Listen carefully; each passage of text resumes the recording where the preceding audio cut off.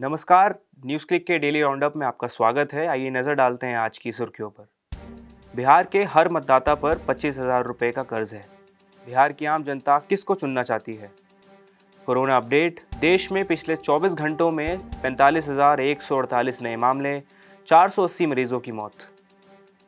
26 नवंबर को देशव्यापी हड़ताल के लिए तैयार है मजदूर। दिल्ली में असंगठित मजदूरों को एकजुट करने पर है ज़ोर। बिहार में सत्तारूढ़ जनता दल यूनाइटेड, भारतीय जनता पार्टी गठबंधन द्वारा वित्त के कुप्रबंधन के स्पष्ट संकेत इस बात से मिलते हैं कि राज्य सरकार भयानक कर्ज में है। इस साल की शुरुआत में यानी महामारी से पहले पेश किए गए बजट अनुमानों के अनुसार राज्य सरकार की बकाया देनदारियों यानी कर्ज करीब एक करोड़ सतासी लाख रुपए था। अब कुछ ही दिनों में राज्य के सात दशमलव उनतीस उनतीस करोड़ मतदाता मतदान करने जा रहे हैं। इस प्रकार मतदान करने वाला हर में एक मतदाता पच्चीस हज़ार चार सौ इकसठ रुपये का कर्जदार है। पिछले वर, पाँच वर्षों में इसमें इकहत्तर प्रतिशत की चौंका देने वाली वृद्धि हुई है। पिछले महीने स्टेट फाइनेंस पर भारतीय रिज़र्व बैंक की प्रकाशित रिपोर्ट से डेटा का मिलान किया गया है। तेईस अक्टूबर को बिहार में एक चुनाव रैली को संबोधित करते हुए प्रधानमंत्री नरेंद्र मोदी ने गर्व से कहा था कि पिछले तीन चार वर्षों में उनकी अगुवाई में केंद्र सरकार और नीतीश कुमार के नेतृत्व वाली राज्य सरकार के बीच तालमेल बहुत बड़ा है। यहाँ बेहतरीन काम किया जा रहा है। जबकि राज्य की वित्तीय स्थिति पर यह डेटा दिखाता है कि बिहार पूरी तरह दिवालिया हो गया है। बिहार में चुनावी सरगर्मी के बीच वरिष्ठ पत्रकार भाषा सिंह ने ज़मीनी हकीकत जानने की कोशिश की। उनकी ग्राउंड रिपोर्ट के इस पहले अंक में दिखा देखिए कि पटना में उनकी आम जनता से हुई बातचीत गरीब और मध्य वर्ग दोनों ने आगामी चुनाव को लेकर अपनी राय उनसे साझा की। नमस्कार, मैं भाषा और इस समय मैं खड़ी हूँ बिहार की राजधानी पटना में।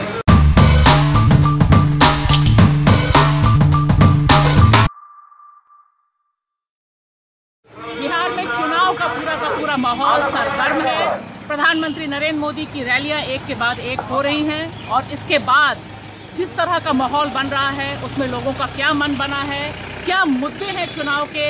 सबसे बड़ा सवाल इस समय हमारे सामने ये है कि यह चुनाव बिहार की धरती में जो हो रहा है, इसके मुद्दे क्या हैं? लोग किन मुद्दों पर वोट देना चाहते हैं? और इसके लिए हमने रुख किया है शहर से लेकर गाँव कस्बे तमाम जगहों पर। और जानने की कोशिश की है कि जिस तरह के सर्वे आ रहे हैं, जो बता रहे हैं कि अभी नीतीश का और मोदी सरकार का जो अलायंस है जनता दल यू और भाजपा का, जिसको बढ़त दिखाई जा रही है चुनावी सर्वों में, क्या वाकई ज़मीनी हकीकत वही है?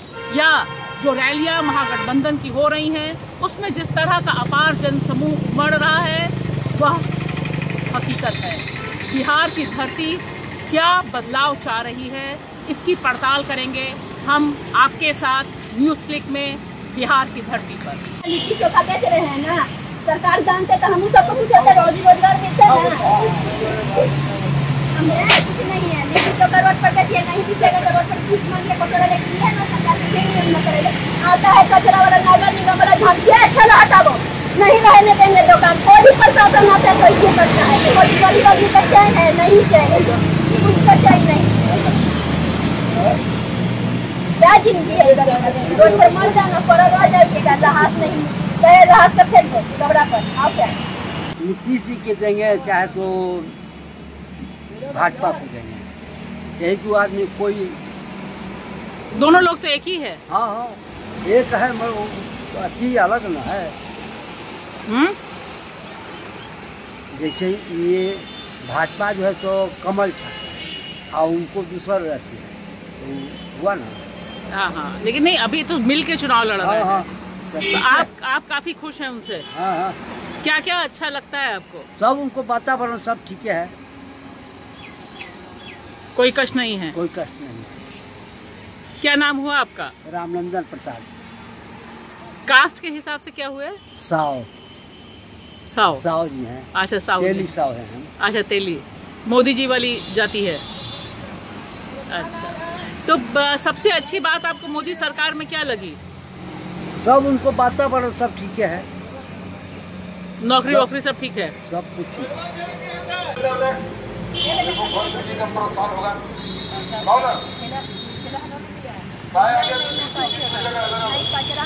सब कोई मैं नेता लोग आएँगे तो हम सब कोई हटा रहे हैं ना कि दुकान हटाओ। रास्ता क्लियर करो नेता जाएँगे पधारेंगे साफ़ सफ़ाई चाहिए ना उनको लिए। जगह चाहिए स्टेशन ना कोई दिक्कत नहीं हो रही तभी वो बोल रहे हैं कि है। हाँ तो वी आई पी उहे लगी हटाने के लिए बोले हैं। अच्छा ये बताइए कि आपकी जो जाति आपने बताई बनिया वो तो लोग मोदी को वोट देते हैं। अब देते हैं तो क्या मोदी है तो जाति है तो क्या वो हमको हम हमसे तो कर दिए हैं। जाति अपना लगी ना हम अपना लगी ना है जाति। वो क्या कहे? ठीक, मेरे जात मोदी सरकार है तो क्या हुआ? कुछ फ़ायदा है, कुछ नहीं फ़ायदा है। जाती है तो वो अपना मन से कर रहे हैं, हम सबको कहाँ ताक रहे हैं, देख रहे हैं। हर की हर जाति रहता है, जाति वो सरकार बन गया रहता है। सरकार जातियों को कहाँ मदद कर रहा है? हम उनके उनके, वे मोदी जी के हैं रिश्तेदार मोदी जी क्या किए कुछ नहीं किए खाली अपना राजनीति करते रहते हैं। अभी जब से खुला है कितना दिन हो गया आपको खुला खोले हुए? ये मई दीदी लॉकडाउन छूटा है तो जब से खोले तीन महीने तीन महीना हो गया चलना तीन महीना लॉकडाउन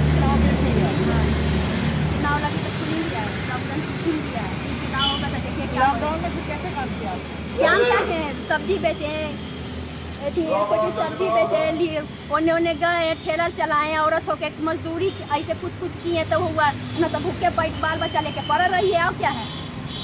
जिसको पति बीमार था तो भूखे बाल बच्चा लेकर नहीं ना राशन से कुछ के नहीं मेरा पतियों बीमार था उसी घड़ी कोई नहीं सहायता मिला कुछ नहीं। वो तो कैसन कठिन से गुजरे जो हम ही सब जानते हैं। हम लोग को बहुत दिक्कत है मजदूर बहुत पैदल चलाए हैं दिल्ली पंजाब से उनको भी बदलना है। आप पहले कहाँ काम करते थे? हम यही करते ना एयरपोर्ट आपको क्या लगता है कि जो लोग सब लोग आए हैं बिहार से बाहर काम करते थे?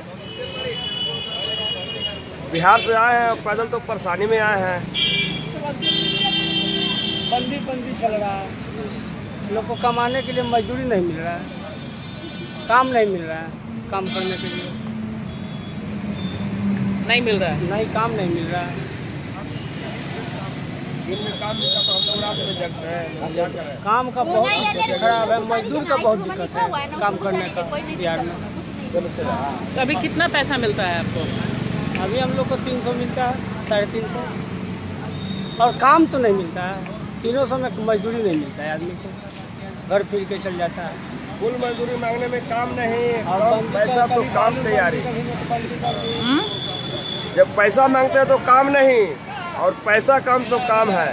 रोड रोड पर पड़ा रह जाइएगा, सरकार ना पाएगा, सरकार के फेंक दो, उसको उधर उधर। ये तो होता है, अपना मनमानी करता है। हम तो ये सरकार के खिलाफ हैं कि मनमानी मत कीजिए, गरीब आदमी के देखिए, तब ना आपको देखेगा। आप देखबे नहीं करते, सौ गाँव में से दस परसेंट के करते हैं पचहत्तर परसेंट के सबको देखिए एक धांगली से, तब सरकार से, सरकार हम सब हम तो जागरूक होंगे कि सरकार के हमको सरकार करा है। दस लोग का खाता पर चाहे जो चीज़ पर दस लोग कुछ सामान बना देते, दस लोग के बीपीएल बनाते, दस लोग नहीं बनाते ये बेकार न है, बनाइए तो एक बनाइए। कुछ भी काम करिए तो एकता बनाइए, एकता करिए, तब ना जानेंगे हाँ सरकार हम सब लिए किए हैं। दस गो के करते हैं दस गो ये के चलते सरकार से खिलाफ है हम। आप कुछ नहीं है। गरीब इधर उधर भटका चल रहा है। नीतीश जी गरीब के लिए कुछ आज तक किए नहीं अभी तक। वो तो खाली सड़क बनाते वो तो सड़क पेड़ पौधा लगाते हैं, कहिए ना सीधे। लगा रहे हैं। कहिए फिर पेड़ पौधा लगाते हैं कुछ नहीं करते हैं। सरकार सब बनता है सब अपना अपना मनमानी करता है। पटना भाजपा और नीतीश का गढ़ रहा है। यहाँ पर भाजपा ने बहुत तगड़ी पैठ अपनी बनाई है, लेकिन हमने देखा कि जो क्लास डिवाइड है वो बहुत तगड़ा है। यहाँ पे जो मजदूर हैं, उन्हें याद है कि लॉकडाउन में मोदी और नीतीश की गलत नीतियों से उन पर क्या असर पड़ा। वहीं जो थोड़ा सा संपन्न तबका है, वह पक्ष में बात कर रहा है। लेकिन एक बात साफ़ है कि बिहार में इस बार चुनाव जनता अपने मुद्दे तलाशते हुए तय कर रही है। केंद्रीय स्वास्थ्य मंत्रालय द्वारा आज 26 अक्टूबर सोमवार सुबह 8 बजे जारी आंकड़ों के अनुसार 24 घंटों में कोरोना के 45,148 नए मामले दर्ज किए गए हैं। इसके अलावा आज लगभग चार महीने बाद कोरोना से रोज़ाना होने वाली मौतों का आंकड़ा 500 से नीचे आया है यानी पिछले 24 घंटों में कोरोना से 480 मरीजों की मौत हुई है। साथ ही इसी बीच कोरोना से पीड़ित उनसठ हज़ार एक सौ पाँच मरीजों को ठीक किया जा चुका है और कुल एक्टिव मामलों में चौदह हज़ार चार सौ सैंतीस मामले कम हुए हैं। देश में अब कोरोना के मामलों की संख्या बढ़कर उनासी लाख नौ हज़ार नौ सौ उनसठ हो गई है, जिनमें से अब तक एक लाख उन्नीस हज़ार चौदह मरीजों की मौत हो चुकी है। स्वास्थ्य मंत्रालय की ताज़ा जानकारी के अनुसार रिकवरी रेट में आज शून्य दशमलव तेईस फ़ीसदी की बढ़ोतरी के साथ रिकवरी रेट बढ़कर नब्बे दशमलव तेईस फ़ीसदी हो गया है, यानी अब तक इकहत्तर लाख सैंतीस हज़ार दो सौ अट्ठाईस मरीजों को ठीक किया जा चुका है और कुल एक्टिव मामले घटकर छः लाख तिरपन हज़ार सात सौ सत्रह हो गए हैं। आईसीएमआर द्वारा जारी आंकड़ों के अनुसार अब तक 10 करोड़ चौंतीस लाख बासठ हज़ार सात सौ अठहत्तर सैंपल्स की जाँच हो चुकी है, जिनमें से नौ लाख उनतालीस हज़ार तीन सौ नौ सैंपल्स की जाँच पिछले 24 घंटों में हुई है। देश भर में मजदूर 26 नवंबर को देशव्यापी हड़ताल करेंगे। दिल्ली में भी बड़ी संख्या में मजदूरों की सड़क पर उतरने की उम्मीद है। देशव्यापी हड़ताल में संघ समर्थित भारतीय मजदूर संघ को छोड़ बाकी सभी केंद्र ट्रेड यूनियनों, स्वतंत्र फेडरेशन और यूनियन भी शामिल रहेंगे। इसकी तैयारी लगातार जारी है। इसको लेकर लगातार राज्य स्तर पर संयुक्त कन्वेंशन किए जा रहे हैं। दिल्ली में बुधवार को मजदूर संगठनों ने कन्वेंशन आयोजित किया, जिसमें इस बार दिल्ली में असंगठित मजदूर को एकत्र करने पर विशेष ज़ोर दिया जा रहा है, क्योंकि असंगठित क्षेत्र में लगभग नब्बे प्रतिशत से ज़्यादा अधिक मजदूर काम करते हैं। बुधवार को इस सम्मेलन में 10 केंद्रीय ट्रेड यूनियनों की प्रतिनिधियों की भागीदारी थी। इसमें कांग्रेस समर्थित आईएनटीयूसी, समाजवादी समर्थित एचएमएस, वाम समर्थित C U C two A I T U C A I U T U C T U C C A I C C T U L P F U T U C और महिला संघ सेवा शामिल हुए। उन्होंने एक प्रस्ताव भी पास किया। न्यूज़ क्लिक के डेली राउंडअप में आज बस इतना ही। हमारे यूट्यूब चैनल को सब्सक्राइब करें, साथ ही फेसबुक और इंस्टाग्राम पर हमें फॉलो करें और हमारी हिंदी वेबसाइट को भी फॉलो करें। न्यूज़ क्लिक देखने के लिए धन्यवाद।